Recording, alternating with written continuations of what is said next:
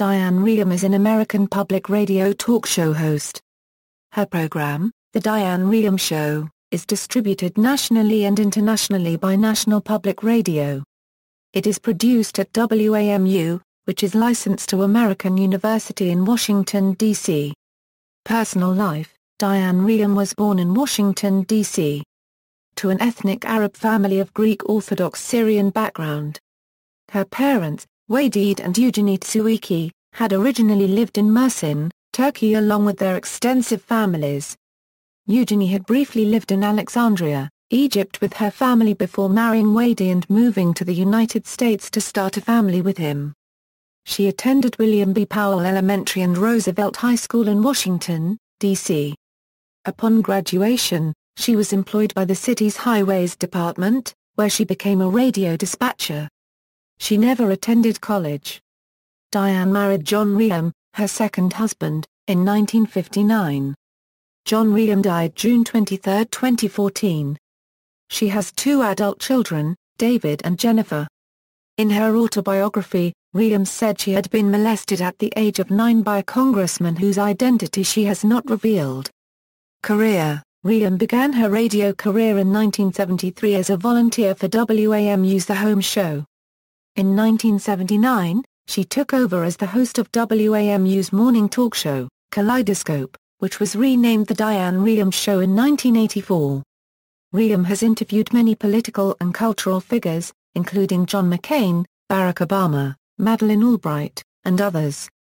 She has said that her most touching interview was with Fred Rogers of the PBS program Mr. Rogers' Neighborhood, conducted just before his death. Rehm considers her interviews with Bill Clinton and Hillary Clinton to be amazing experiences. She has written two autobiographical books. The first, Finding My Voice, dealt with her traditional upbringing in a Christian Arab household, her brief first marriage and divorce, her 50-year marriage to John Rehm, raising her children, the first 20 years of her radio career, and her battles with depression, osteoporosis, and spasmodic dysphonia. Together with John Rehm she co-wrote Toward Commitment, a dialogue about marriage, which was published in 2002. Corporation for Public Broadcasting report, in 2005, a private study funded by the Corporation for Public Broadcasting said Rehm booked 22 liberal guests for every five conservative guests. The study was criticized as a politicized attempt to, in Rehm's word, scare journalists with the accusation of liberal bias. One criticism of the study concerned its criteria of what constituted liberal a Euro a category which included seemingly moderate Republicans such as Senator Chuck Hagel and former Representative Bob Barr. The study was commissioned by Kenneth Tomlinson, whose appointment to the chairmanship of the CPB by George W. Bush had been criticized by liberals as politically motivated.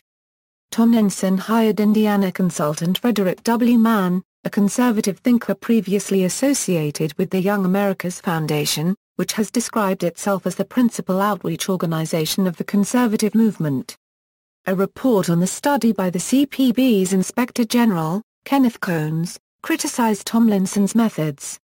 The report led to Tomlinson's immediate resignation in November 2005. According to the Washington Post, Diane Rehm herself called Mann's findings unprofessional and simplistic and added I've been booking shows for 25 years. I don't think they have any idea what it takes to achieve the professionalism and expertise and the right people to express a variety of points of view. What Kenneth Tomlinson is doing, I think, is trying to scare public broadcasters.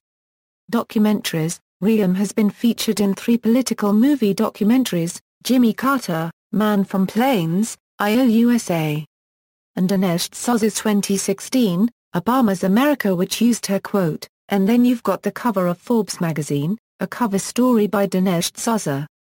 I think nothing has turned my stomach so much in recent years as reading that piece. Honors and Awards, a partial list of Rehm's Honors and Awards, 1999 Washingtonian of the Year by Washingtonian Magazine. 2000 Fellow of the Society of Professional Journalists, honoring extraordinary contributions to journalism. 2003 Calvary Women's Services Hope Award, honoring her volunteer and professional work for women in need. 2003 Montgomery County chapter of the National Organization for Women's Susan B. Anthony Award, honoring her advocacy of women's right in the community. 2006 Urbino Press Award, 2009 Peabody Award, 2010 Foremother Award for Lifetime Achievement from the National Research Center for Women and Families, 2013 Access Arab American of the Year, 2013 National Humanities Medal, References. External links. Diane Rehm at the Internet Movie Database